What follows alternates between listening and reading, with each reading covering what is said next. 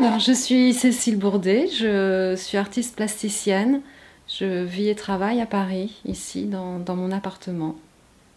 Je suis née en Normandie. Je pratique euh, depuis une vingtaine d'années, euh, tout en ayant à côté un travail euh, rémunérateur. Différents métiers, j'ai travaillé dans des grandes entreprises, j'ai été ensuite graphiste. Actuellement, je travaille dans, les écoles auprès d'enfants en situation de handicap.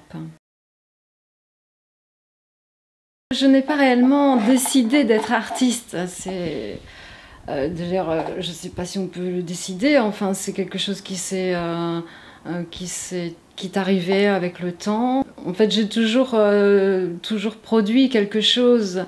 Après de là, imaginer que ce soit quelque chose de, présentable au public, c'est envie de, commencer à, exposer, présenter mon travail. Et c'était il y a environ 10 ans, en 2010, ma première exposition. Après, j'ai pris ça un peu plus au sérieux. Enfin, euh, oui, et puis c'est surtout, j'ai trouvé en fait mon matériau. Euh, en 2010 encore, je ne travaillais pas avec la matière euh, actuelle. Donc à partir du moment où j'ai commencé le papier mâché, j'aime beaucoup travailler avec le papier mâché. je trouve que ça, enfin moi, pour moi, ça m'offre plein de, de possibles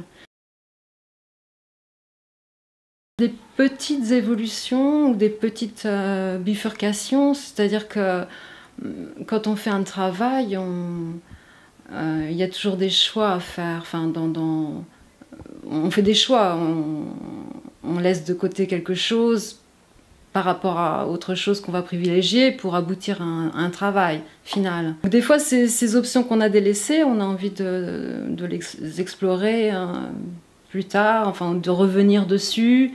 Euh, ce sont des pistes qui sont apparues comme ça par hasard. Puis des fois, il y, a euh, y a vraiment des réelles surprises. Euh.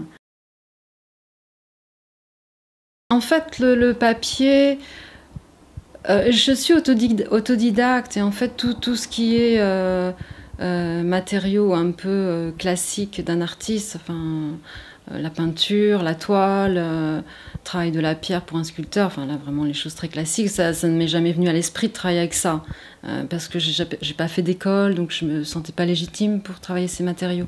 Donc le, papier, euh, c'est quelque chose de euh, très abordable. Enfin, moi, j'en trouve partout. C'est du papier recyclé, donc euh, il y en a à profusion.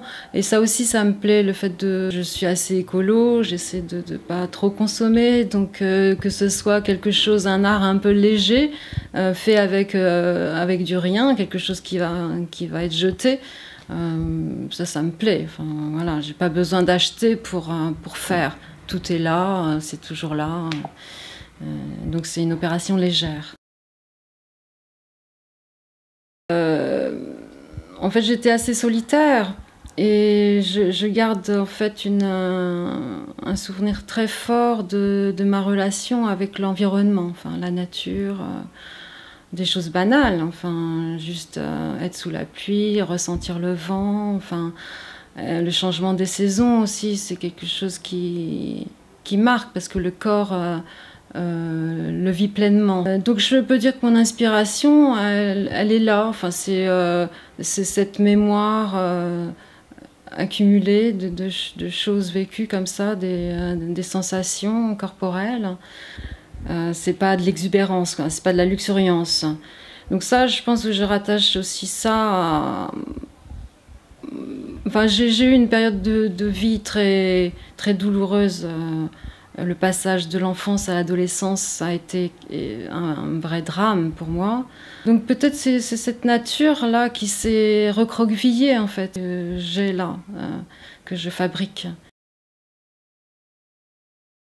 C'est un passage, l'homme dans son, temps de vie personnel, ou l'humanité même. Son temps de vie sera certainement insignifiant au regard du temps de l'univers. Euh, mais tout de même, euh, l'homme est quand même quelque chose de, grandiose dans le sens où euh, euh, on est fait de, cette matière univers. Enfin, on vient de là et on repartira là. Et, en fait, c'est éphémère et s'inscrit, il est compris dans l'éternité, on peut dire. enfin, je trouve que le, rapport entre les deux, c'est un oxymore, mais en même temps, les, ça s'enveloppe. enfin, l'éphémère est dans l'éternité et, vice-versa. C'est-à-dire que l'éternité, dans, dans notre éphémérité d'homme, on peut la voir. C'est-à-dire que euh, tout le monde vit ça à certains moments de intenses de vie qui nous font comme percevoir euh, l'éternel. Enfin, c'est pas c'est impalpable, mais c'est euh, quelque chose qui passe par le corps. Euh, ça peut être dans une relation avec une personne, ça peut être dans le regard qu'on porte sur les choses. Par exemple, quand je travaille, quand, quand personne fait quelque chose qui l'intéresse euh, complètement, qui, qui l'absorbe complètement, on est euh, dans un petit instant d'éternité parce qu'on est complètement absorbé dans, dans, un travail précis, une sorte de concentration. Et là, je trouve que c'est euh, de l'éternité dans l'éphémère de notre vie. Ah, c'est beau, ça. Ici, c'est une, euh, ce que j'ai appelé une forêt d'intérieur. J'en ai fait euh, quelques autres. Elle est constituée d'un tiroir. Alors en général, quand j'utilise des tiroirs, c'est des choses que je trouve dans la rue. Tout ce que je fais se fait à partir de choses trouvées. Donc euh, la forêt d'intérieur, eh bien c'est à nouveau, c'est ça, c'est cette mémoire de, euh, nature que j'ai en moi, matérialise par euh, cet objet vitrine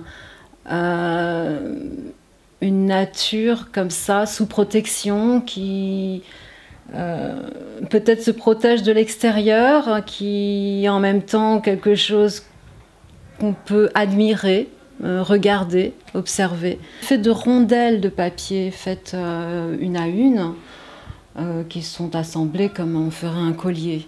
Elles sont aussi teintées dans des, tons bruns un peu différents chacun. En fait, je ne savais pas à ce moment-là, parce que c'est un peu ancien, que, ces rondelles-là, en fait, je continuerai à les utiliser d'autres manières euh, ensuite. En tout cas, je travaille toujours à partir de rondelles maintenant. Et ce travail date de plusieurs années.